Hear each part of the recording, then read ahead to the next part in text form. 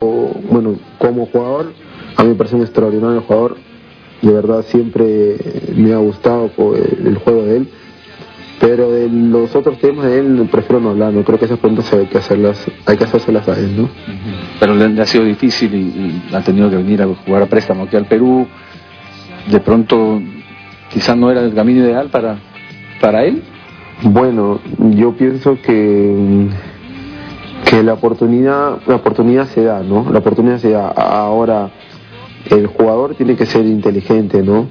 Eh, hay que aprovechar las oportunidades que uno, que uno tiene en la vida, que no son muchas, y más de todos nosotros, eh, bueno, Raymond, yo, que hemos pasado por momentos muy difíciles de pequeño y sabemos que nuestra familia también.